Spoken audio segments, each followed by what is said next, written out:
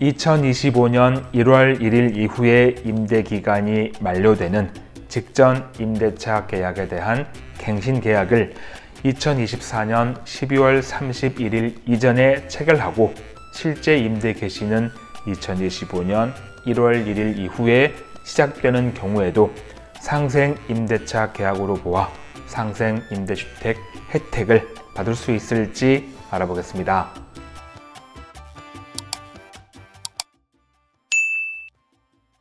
네, 안녕하세요. 박찬웅의 부동산 쇼 부자남 박찬웅입니다.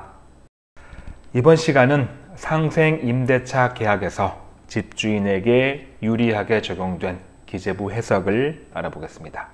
지난 2월 달에 올라온 해석 사례인데요. 어, 질문자의 질문 내용을 보니까 1세대가 주택을 취득한 후에 임차인 갑과 직전 임대차 계약 2년을 한 다음에 2021년 12월 20일부터 2024년 12월 31일까지의 기간 중에 상생 임대차 계약을 체결하고 실제 임대 기간은 2025년 1월 1일 이후에 개시가 된다면 이 경우에도 상생 임대차 계약에 해당이 되는 거냐라고 물어본 거죠. 물론 상생 임대차 계약으로서 일정 요건, 직전 임대차 계약 대비 임대 보증금 또는 임대료 증가율이 5% 이내일 것, 임대 기간은 2년을 유지할 것.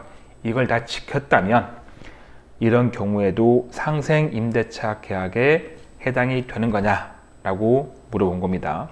그랬더니 이 기재부의 답변을 보니까 1세대가 주택을 취득한 후 임차인과 체결한 임대차 계약 만료 전에 갱신 계약을 체결한 경우로서 2021년 12월 20일부터 2024년 12월 31일까지의 기간 중에 해당 갱신 계약을 체결하고 임대 기간, 임대 보증금 또는 임대료 증가율 요건을 갖춘 경우에 상생 임대차 계약에 해당이 된다라고 했습니다. 요지는 이러한 경우에도 상생 임대차 계약으로 보겠다라는 건데 글만으로는 여러분이 이해하기 힘드시니까 그림으로 다시 한번 설명드리겠습니다. 질문자의 사실관계를 보니까 2020년 9월 달에 A주택을 취득합니다. 그리고 나서 2023년 2월 달에 임차인 갑과 임대차 계약을 체결하고 임대 기간이 시작이 되죠. 근데 이때 임차인 갑과의 임대 기간은 2년이었습니다. 그렇다면 임대 기간이 2년이니까 임차인 갑의 임대 기간 종료 시점은 2025년 2월 달이 되겠죠. 근데 이때 이 질문자는 임차인 갑의 임대 기간이 끝나기 전인 2024년 12월 달에 새로운 임차인 을과 임대차 계약을 체결합니다. 다만 이때는 임차인 갑이 살고 있는 기간이라서 임차인 을의 실제 임대 개시는 언제냐면 임차인 갑이 나가는 시점인 2025년 2월 달에 임대 개시가 되고 2년 거주하고 임차인 을과의 임대 기간도 종료가 되는 거죠. 그리고 나서 A주택을 양도한다면 이 A주택이 상생 임대주택이 돼서 상생 임대주택 특례를 받을 수 있는 거냐의 문제입니다. 이게 무슨 말이냐면 이 질문자는 A주택을 상생 임대주택으로 만들고 싶은 거예요. 근데 상생 임대주택이 되려면 직전 임대차 계약과 상생 임대차 계약이 존재해야 합니다. 자, 이 질문자의 경우에 직전 임대차 계약은 그렇죠. 임차인 갑과의 계약이 직전 임대차 계약이 되겠죠. 2023년 2월부터 2025년 2월까지 이 임대차 계약이 직전 임대차 계약이 되는데 자 문제는 이 질문자가 이 직전 임대차 계약이 끝나는 2025년 2월 이후에 새로운 임차인 을과 임대차 계약을 체결하면 그 계약은 상생 임대차 계약이 안 되는 거예요. 왜냐하면 상생 임대차 계약은 언제까지 작성해야 되죠? 2021년 12월 20일부터 2024년 12월 31일까지 그 기간 안에 계약이 이루어져야 됩니다. 근데 2025년 1월 1일 이후에 계약서 작성하면 그 계약서는 상생 임대차 계약서가 안 되겠죠.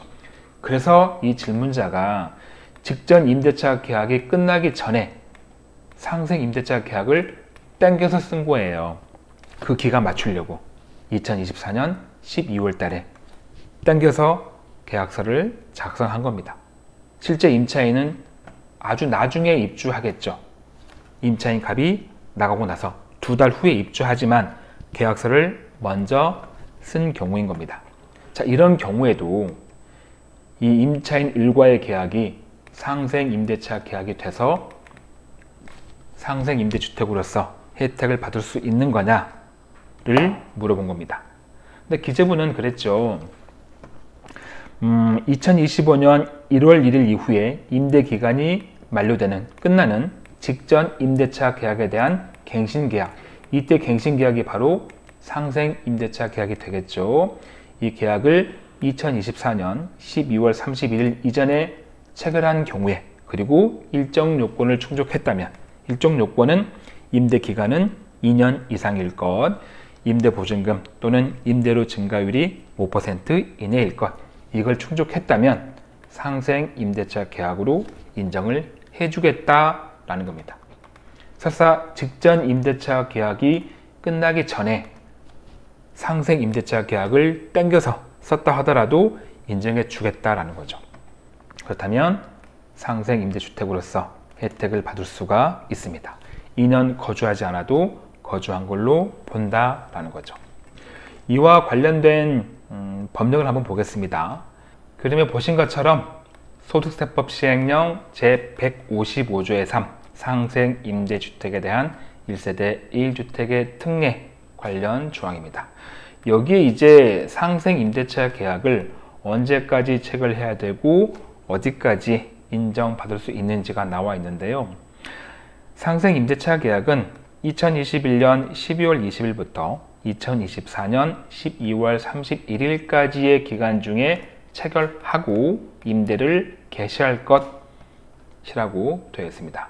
그리고 단서에 계약금을 지급받은 사실이 증빙 서류에 의해 확인되는 경우로 한정한다 라고 되어 있죠. 이 빨간색으로 표시가 된 부분은 음, 임대차 계약은 2021년 12월 20일부터 2024년 12월 31일까지 작성은 했는데 실제 입주가 임대가 개시가 된 날이 2025년 1월 1일 이후가 될 때를 말합니다. 앞선 질문자처럼 그럴 때는 계약금을 지급받은 사실이 증빙 서류에 의해 확인되는 경우로 한정해서 혜택을 주게 되어 있습니다. 이 조항 때문에 앞선 질문자가 직전 임대차 계약이 종료가 되기 전에 상생 임대차 계약을 미리 땡겨서 작성을 해도 인정을 받을 수가 있었던 거죠. 다만 여기서 여러분이 주의하실 건 어, 주의하신다기보다 조금 참고만 하시기 바랍니다. 이 임대를 개시할 것, 이 말이 조금 해석이 어려운데요. 어, 이 기간에 계약서 작성하고 이 기간 안에 임대 개시가 될 것이 아닙니다. 네. 계약서 작성만 이 기간에 체결되면 되고 임대 개시는 설사 2025년 1월 1일 이후가 되더라도 실제로 임대가 개시만 되면 된다 라는 뜻으로 해석하시면 되겠습니다.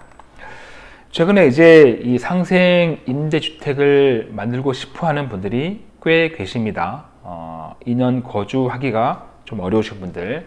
근데 그분들이 음, 이 직전 임대차하고 상생 임대차하고 이 타이밍이 딱 맞으면 좋은데 잘 맞지 않는 분들이 계세요. 이분들이 어, 최근에 저에게도 많이 물어보시는데 음, 그런 분들이라면 특히 제 오늘과 같은 사례에 해당이 되신다면 참고하시면 상생 임대주택으로서 혜택을 받을 수 있는 그 길은 조금 넓어졌다라고 이해하시면 좋겠습니다. 마무리할 시간입니다. 저에게 큰 힘이 되는 구독하기와 좋아요, 알림 설정 꼭 눌러주시고요. 저는 다음 영상에도 최선을 다하겠습니다. 고맙습니다.